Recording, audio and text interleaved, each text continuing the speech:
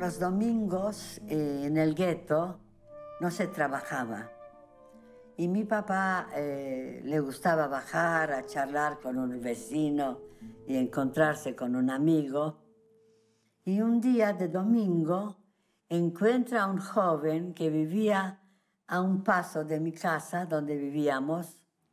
Era un muchacho grande, muy buen mozo. Vino a mi casa y nos presenta, mira, dice, encontré a este joven en la, abajo en la calle y lo invité, la verdad que mucho para ofrecerle no teníamos.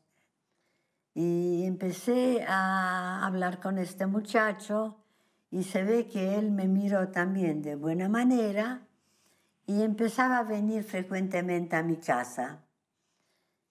Y él me dice, mira, ¿tenés una libretita? A vos te gusta la música, ¿no es cierto? Me hizo una clave, una, una clave de música y me puso unas palabras y una fecha. Y me dice, yo te anoto del 5 del 5 del 45.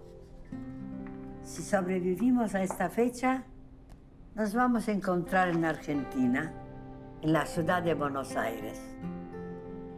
Yo la verdad que me guardé esta fecha, para mí era sagrada, porque yo pensé que una de estas sobrevivimos y una de estas nos encontramos, pero era un sueño y nada más que soñar con esta fecha. Los americanos entran en la fecha que nos dicen que 5 del 5 del 45 fuimos salvados por los americanos.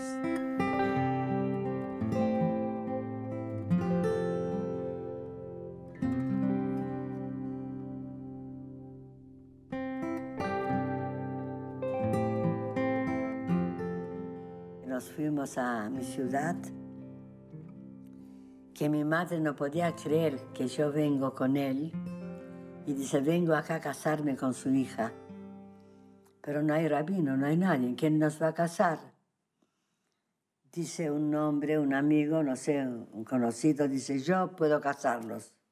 Para conformar a mi madre, dijo, bueno, vengan acá, me puso una mano en la cabeza a él y a mí, nos bendijo no sé en qué idioma, ya están casados y mi mamá se conformó con esto.